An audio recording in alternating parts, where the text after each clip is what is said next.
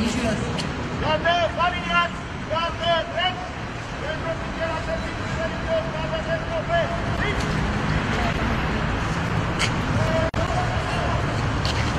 Binecuvintează în al preasfințite Da. Părinte!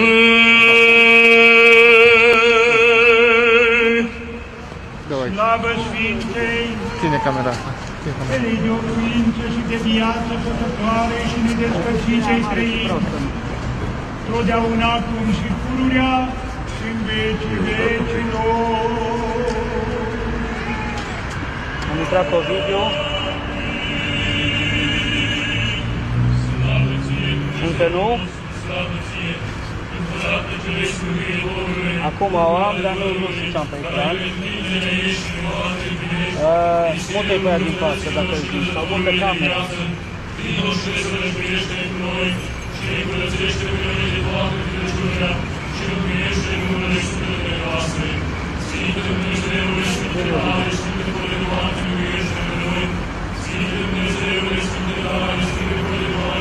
Miluiește-ne pe noi! Sfinte Dumnezeule, Sfinte tare, Sfinte fără de moarte, miluiește-ne pe noi! Slavă Tatălui și Fiului și Sfântului Duh, și acum și pururea și în vecii vecilor. Amin. Prea Sfântă Treime, miluiește-ne pe noi! Doamne, curățește păcatele noastre, Stăpâne iartă fără de legile noastre, Sfinte cercetează și vindecă neputințele noastre, pentru numele Tău. Doamne miluiește, Doamne miluiește, Doamne miluiește, slavă Tatălui și Fiului și Sfântului Duh, și acum și pururea și în vecii vecilor. Amin.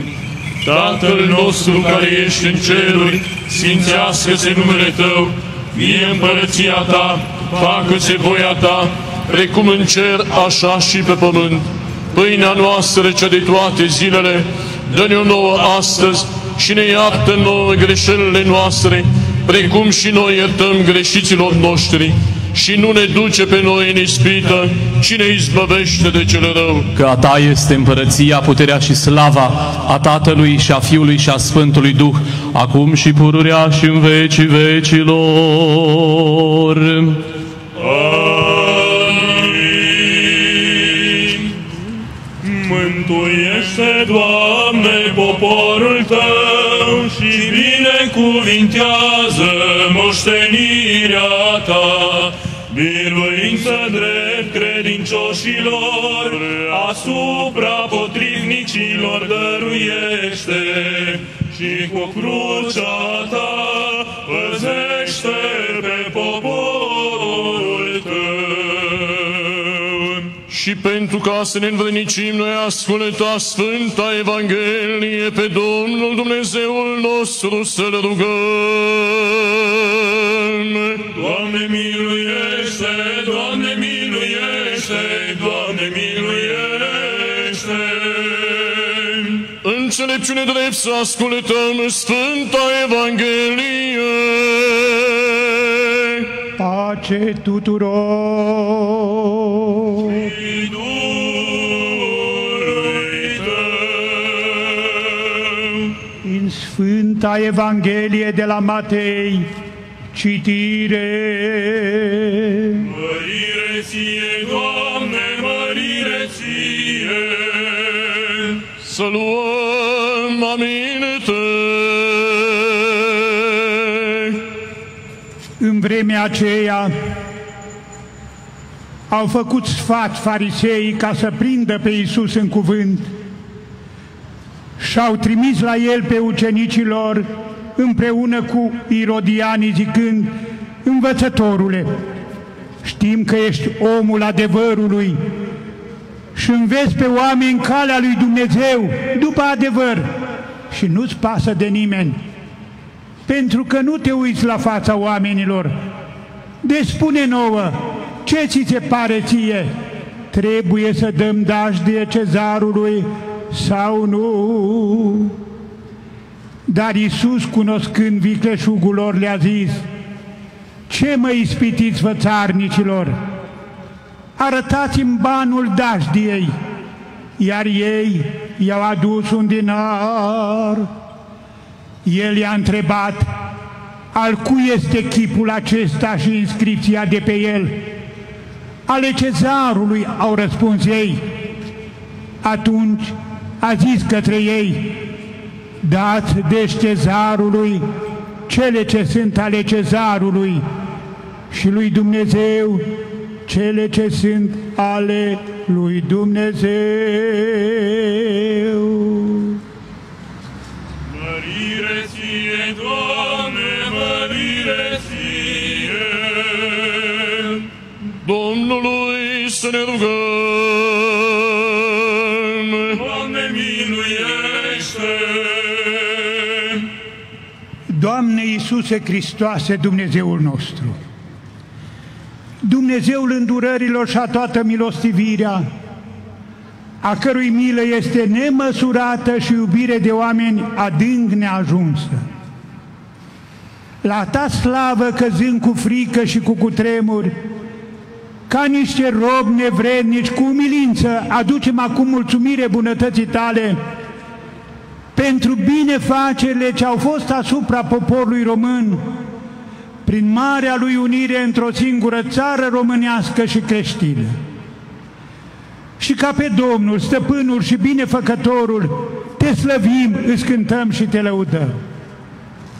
Și iarăși căzând înaintea ta, mulțumind, rugând cu milință nemăsurata și nespusa ta milostivire, ca precum ai binevoit a primi atunci rugăciunile robilor tăi și cu milostivire i-ai învrenicit ale se împlini cerele, așa și de acum înainte învrednicește-ne sporind dreapta credință în dragoste către tine, către aproapele, către țară și întru toate faptele cele bune și-a dobândi ale tale binefaceri.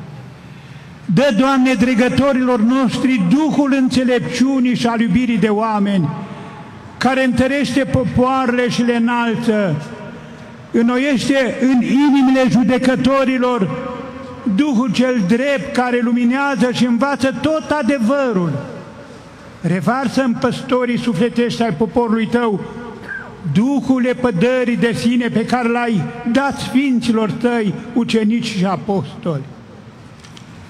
Auzi-ne, Doamne, precum ai auzit rugăciunile înaintașilor noștri și cu milă le-ai împlinit cererile. Și ai revărsat ajutorul tău asupra țării acesteia în care se preamărește numele tău. Și ne învrenișește pe toți ca totdeauna mulțumire să-ți aducem cele prea bune să grăim și să cântăm celui fără de început al tău, Părinte, și prea Sfântului și Bunului și de viață făcătorii tău Duh.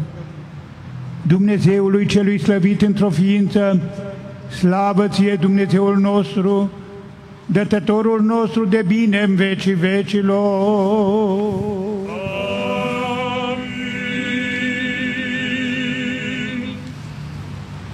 Domnule prefect, domnule primar, onorate oficialități militare și civile, un singur gând.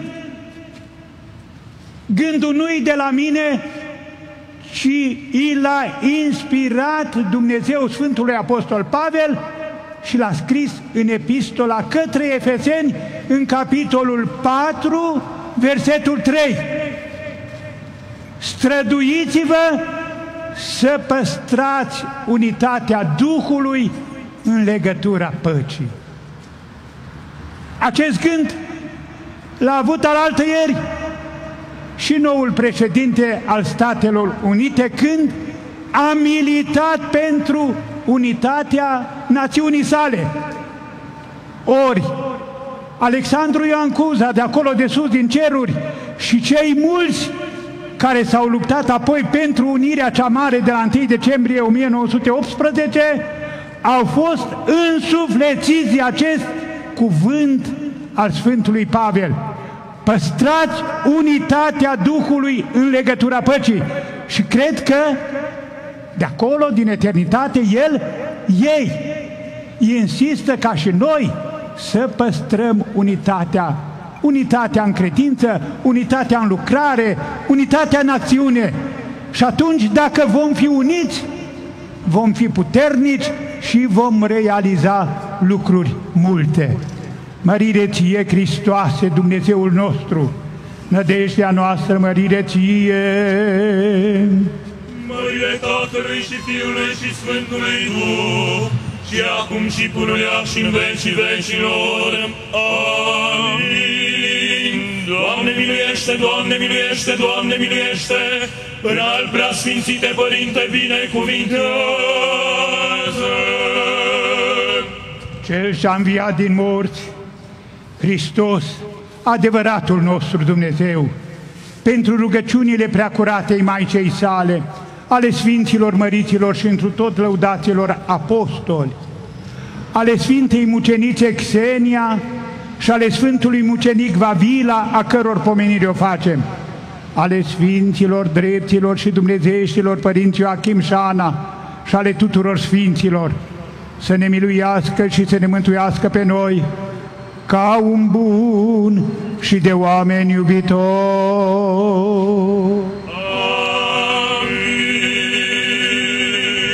Binecredinciosului popor român de pretutindeni, conducătorilor de țării noastre, mai marilor orașelor și satelor, și armatei țării, de Doamne, zile bune și îndelungate, cu viață pașnică, sănătate, mântuire și cu toate bunăsporire, iar asupra vrășmașilor biruință și îi păzește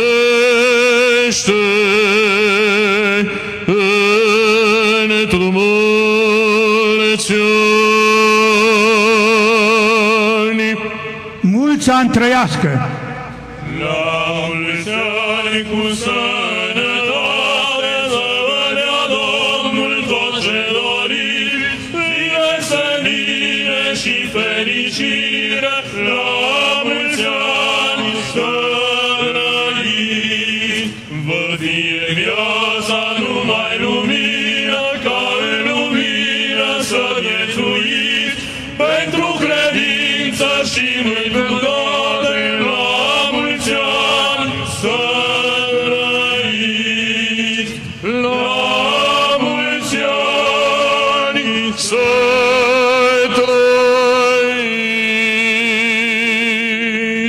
La mulți ani!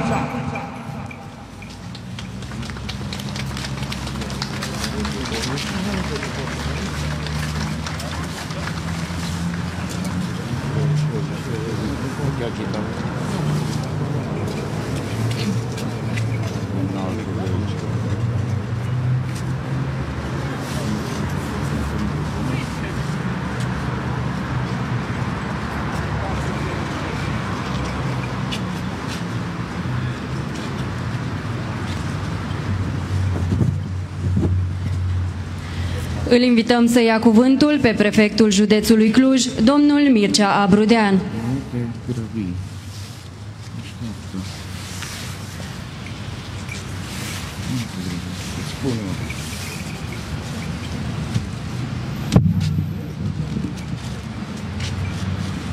În al preasfinția voastră, preacuvioși părinți, domnule europarlamentar, doamnelor și domnilor parlamentari, domnule ministru, domnule primar, distinse oficialități militare și civile, dragi clujeni, dați-mi voie să dau citire mesajului premierului României cu prilejul marcării Zilei Unirii Principatelor Române.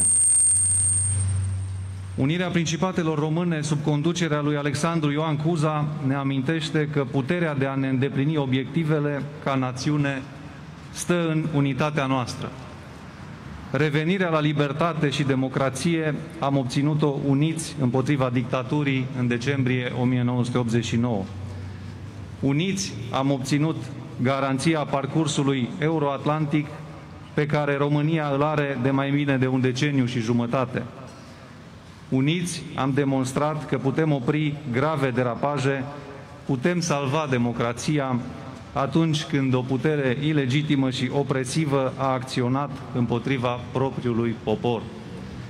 Tot uniți vom reuși să protejăm sănătatea noastră, a tuturor, și să redresăm economia după pandemie.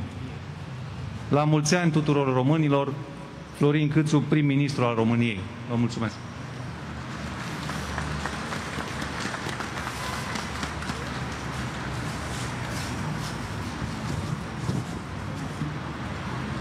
Urmează alocuțiunea primarului municipiului Cluj-Napoca, domnul Emil Boc.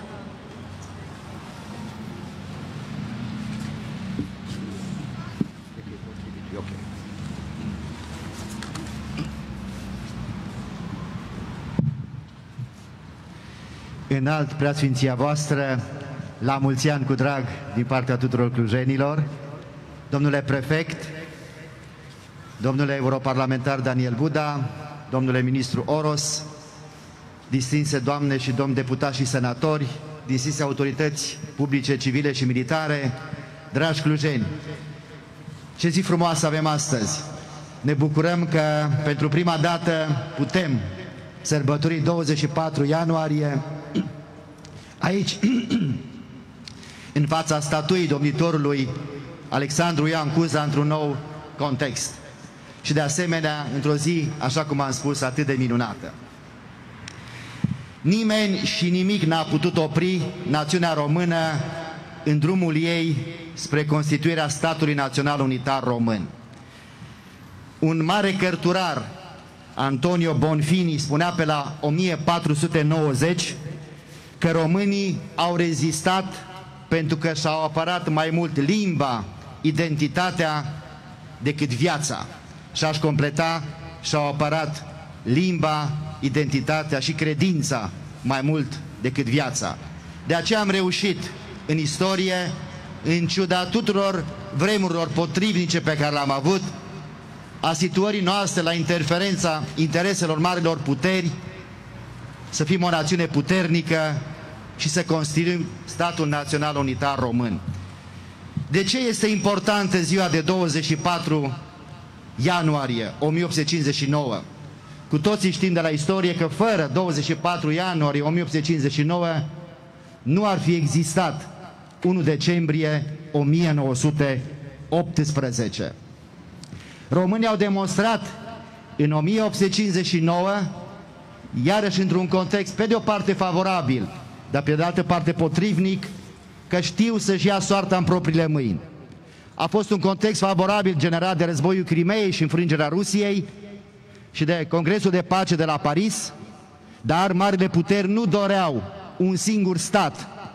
Și asta s-a văzut la conferința de la Paris din 1858, când se dorea ca aici să fie două state distincte cu doi domni distincți pentru a nu fi o structură statală prea puternică pentru a pune probleme marilor puteri.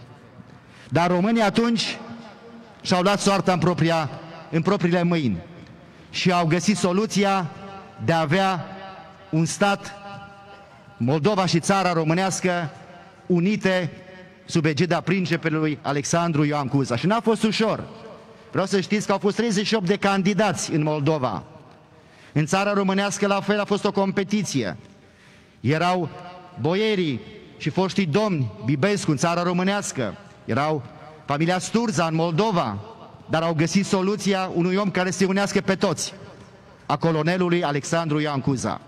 Și iată că am reușit, prin voința românilor, dar și îmbinând diplomația cu celelalte resurse, să obținem recunoașterea Marii Uniri și să ne creăm drumul spre Marea Unire. Pentru noi, cei din Transilvania, a fost poate cel mai important moment după Revoluția de la 1848. Românii, în sfârșit, aveau o speranță, aveau unde să se uite. Și-au dat seama că sub Imperiul Habsburgic, după aceea sub Imperiul Austro-Ungar, nu există nicio șansă de mântuire de a fi stăpâni în propria lor țară și de a fi tratați egal. În acest sens, sunt cunoscute vorbele pe care Bărnuțiu le-a spus în mai 1848. Împăratul ne-a înșelat, Imperiul Habsburgic ne-a ferecat și ne-am trezit că numai credința noi înșine și neamul nostru românesc ne poate mântui. Să nu uităm totuși că am avut un Avram Iancu și pentru o clipă am avut în munții Apuseni o țară românească. Românii n-au uitat acest lucru. Și atunci, de ce este important 1859? Pentru că dintr-o dată românii în sfârșit își vedeau visul că se apropie.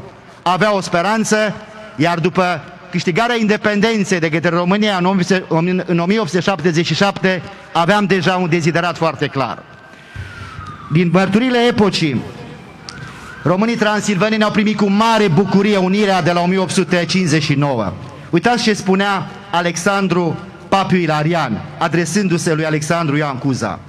O principe și domn al românilor, fie ca să vă steie în ajutor geniul națiunii române, să răzbunați cu înțelepciune moartea lui Mihai Viteazu și să fiți executorul fericit al planului celui mai mare român ce a avut vreodată Dacia lui Traian. Să știți că Cuza i-a primit cu mare bucurie și a susținut pe românii din Transilvania. Știa că la acel moment nu era posibil ca Transilvania să se unească cu România, dar a știut că sprijinându-i în continuare acel moment va veni. Simion Bărnuți a fost numit profesor la Universitatea din Iași, unde era dorit și rector. Gheorghe Barițiu a fost propus inspector general al școlilor din Moldova. Alexandru Papiu Ilarian a devenit procuror la Curtea de Casație și apoi ministru de Justiție în guvernul Cogălnicianu.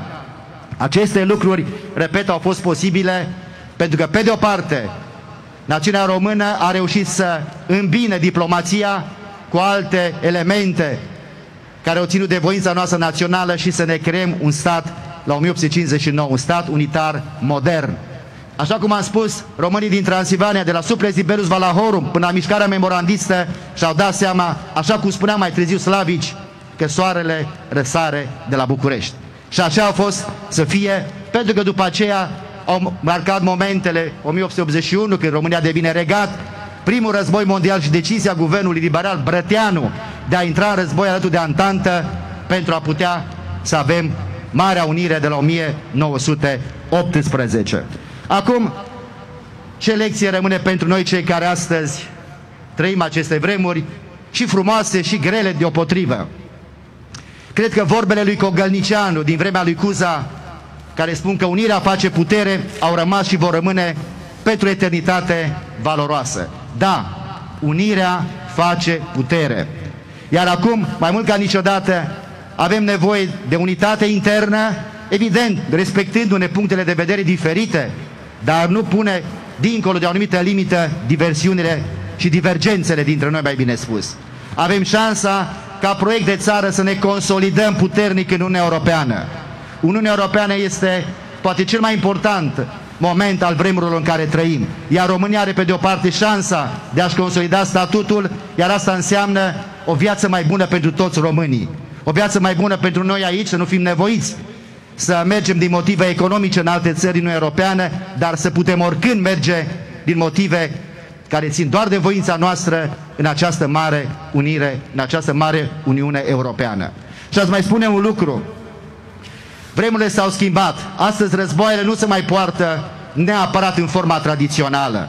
Dacă vrei să distrugi un neam sau o națiune, distruge educația și cultura, pentru că atunci o vei cuceri mai ușor.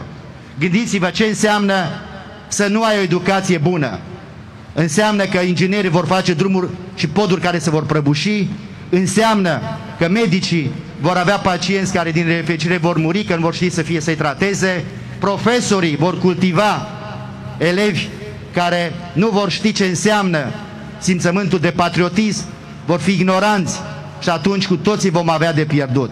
De aceea cred eu că prin educație și cultură în primul rând, iar acest oraș prin excelență este un oraș cultural, un oraș universitar, un oraș în care cartea și cultura sunt la ele acasă, prin aceste lucruri vom putea reuși ca nație puternică în Uniunea Europeană. Vă mulțumesc tuturor pentru că ați venit astăzi aici. Din nefericire, la sfârșit astăzi nu vom putea avea această hora unirii cu care am fost obișnuiți, dar sunt convins că avem fiecare dintre noi în suflet și cu mâna la inimă ne vom saluta și vom fi mai puternici și mai uniți ca niciodată. La mulți ani, România!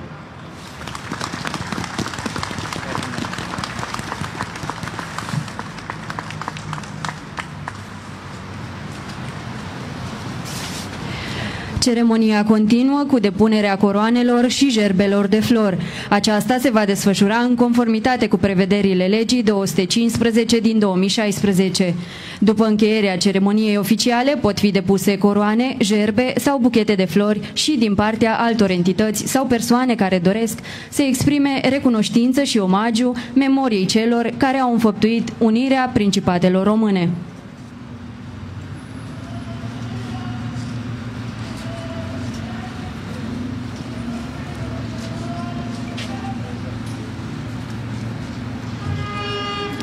Se depune o coroană de flori din partea Parlamentului României.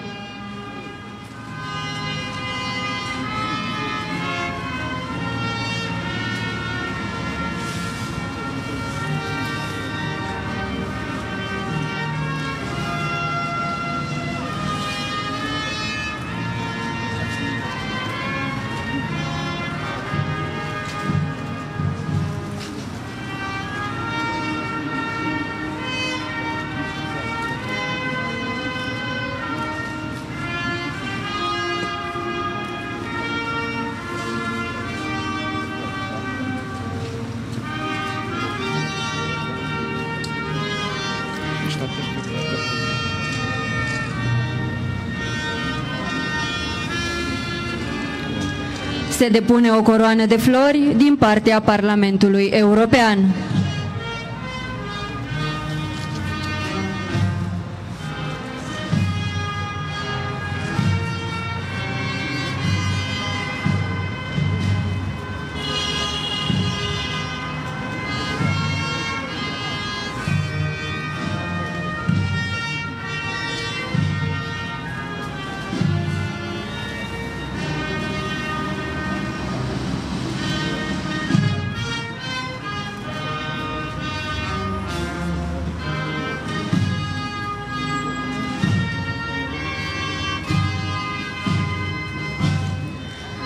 Se depune o coroană de flori din partea Guvernului României.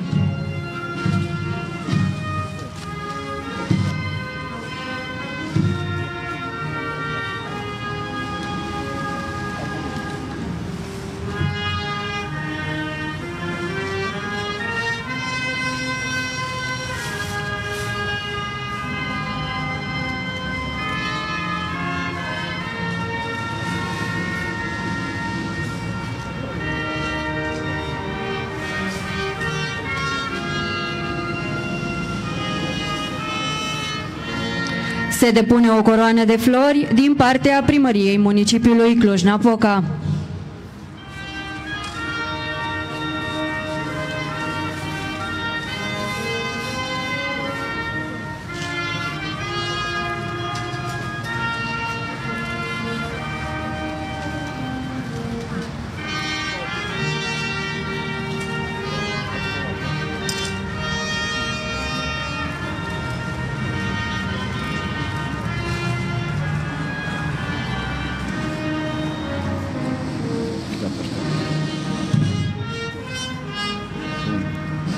Se depune o coroană de flori din partea Diviziei 4 Infanterie Gemina.